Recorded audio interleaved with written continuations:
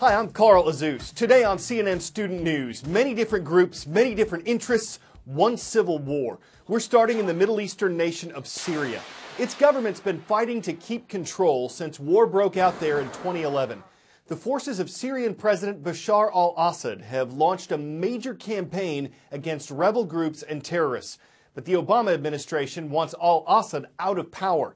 The U.S. had a $500 million program to train and arm certain rebels who were fighting al Assad's troops. But an American general said last month that only four or five of the U.S. trained rebels were still in action, and the program was recently suspended. Still, the U.S. did drop 50 tons of ammunition to Syrian rebel groups overnight on Sunday. And this brings us to Russia. Like the U.S., it's launching airstrikes in Syria, and like the U.S., Russia says its airstrikes are aimed at ISIS terrorists. But U.S. officials say Russia's also targeting Syrian rebel groups. And Russian President Vladimir Putin confirms his troops are there to help Syria's government stay in power. There are several reasons why Vladimir Putin decided to enter the Syrian war at this particular point.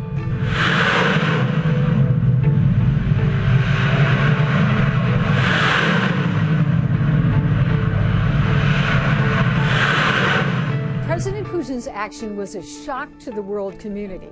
He had been supporting for years President Assad, but almost it appeared overnight, Russia took several actions, sending in a very large amount uh, of military equipment to Syria, air attacks on ISIL, and then finally sending cruise missiles into Syria.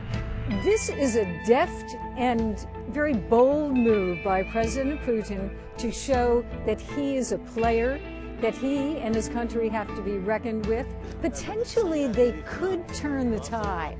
After all, President Assad's troops were in trouble, and President Putin perceived that it was time to get in there and make sure that Assad did not fall. Another reason that President Putin wanted to enter the fray in Syria was to take attention off what was happening in Ukraine. His country and he getting a lot of criticism and also a lot of sanctions coming his way. And possibly by looking as if he was solving a problem in the world, perhaps Europe and the United States would not want to impose sanctions coming up again in December. Finally, another reason is President Putin has a visceral hatred for any type of weakening of authority in a government. And so, to the end, he has been supporting President Assad simply because he is the leader of Syria. President Putin does not want regimes, even if they're repressive, to fall because he feels that chaos will come after that. More instability in another part of the Middle East. Recent stabbings of Israelis, killings of Palestinian attackers, and deadly fighting between Israeli forces and Palestinian protesters.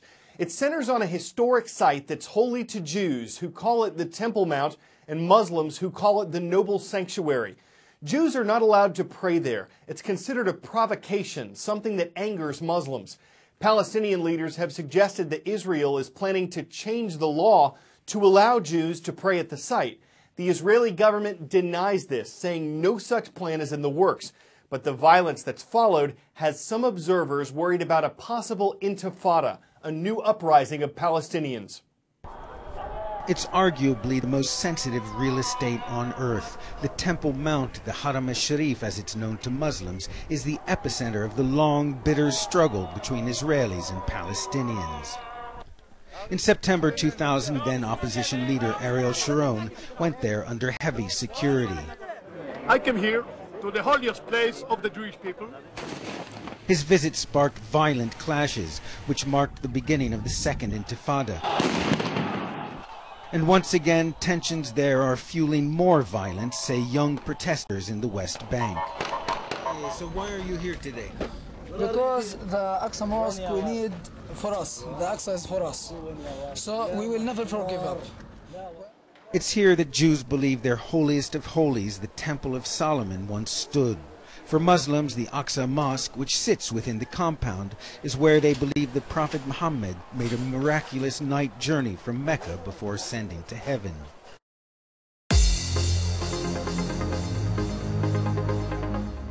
We love to see who's watching worldwide. On yesterday's transcript page at CNNStudentNews.com, we heard from Sacheon, South Korea. It's great to be part of your day there at Yongnam International Foreign School. Next, Opelousas is a city in southern Louisiana. We've got the Vikings watching today at Opelousas Catholic School. And moving north to North St. Paul, Minnesota, hello to our viewers at Next Step Transition Program. Thank you all for your requests yesterday. There have been a few Republican debates so far this year among those hoping to win their party's nomination for president, but there hasn't been a debate for the Democrats yet. Tonight is the first. You can watch it on CNN. Coverage starts at 8:30 p.m. Eastern, and just like we did with the most recent Republican debate, we'll bring you highlights from the Democratic one later this week.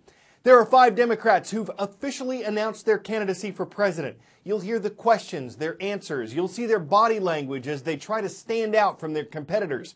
But there's a lot that happens behind the scenes before the candidates even get on stage.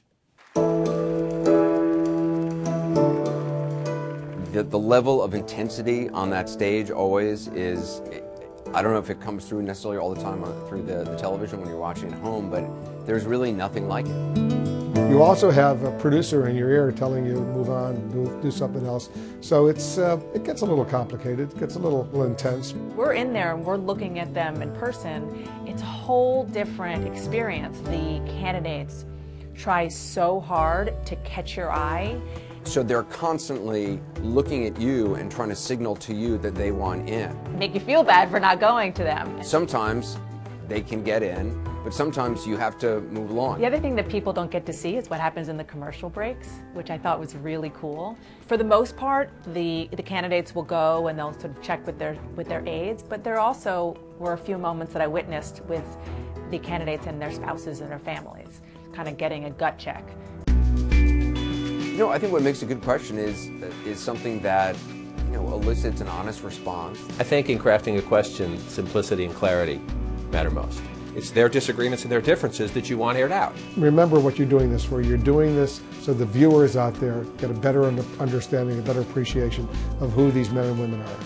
It's hard to say what makes a good and bad debate question because so much of the answer to that question is the answer that the candidate gives. But actually listening to what's being said and pivoting off what somebody has just said, or perhaps taking the conversation in a different direction to another candidate to bring them in. But if you can get either the two candidates' words to pit them against each other, sometimes you ask an open-ended question and they go where their mind takes them, as opposed to where their talking points take them. So there's a value in that. You know, the worst thing in the world is to just be sitting there with a list of questions that you've thought out in advance and then just waiting for the person to stop talking so you can just go on to the next question. Those, you never want to do that. A lot of the prep is trying to kind of game out what the candidate is or isn't potential, potentially going to say. If a week later, nobody can remember the name of the moderator, but they got information that helped them make their decision, then you did your job.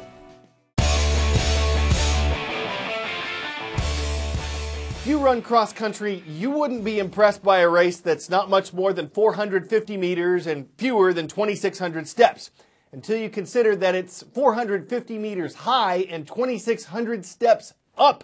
It's the Canton Tower Race, a charge up South China's Canton Tower, one of the tallest buildings in the country.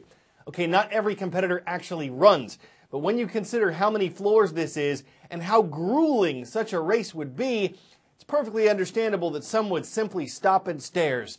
Compared to a flat track, this thing is a step up with a clear challenge afoot requiring a strong can shoe perspective and a positive altitude. I'm Carl Azuz for CNN Student News and I'm out of breath.